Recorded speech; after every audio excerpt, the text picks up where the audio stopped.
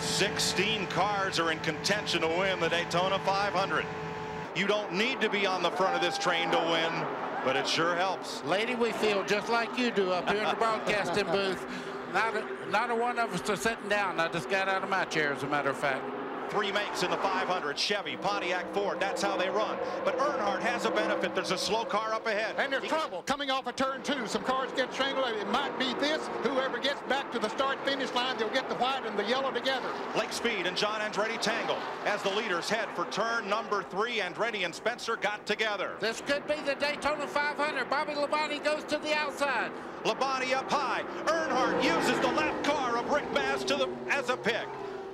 20 years of trying, 20 years of frustration. Dale Earnhardt will come to the caution flag to win the Daytona 500. Finally, the most anticipated moment in racing.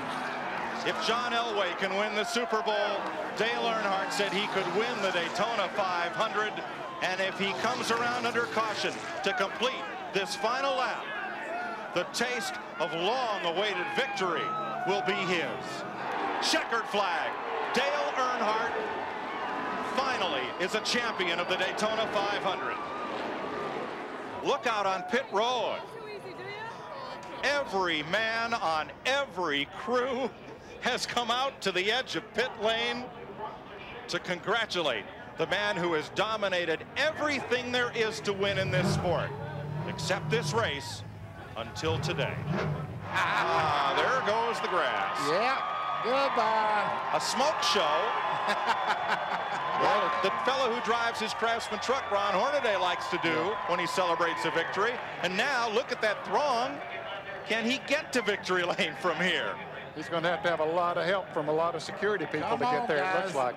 I Don't want to hear what he has to say. Don't worry. He's won at this racetrack 30 times. He, better than anyone, knows the way to victory lane. out of his car and listen to this.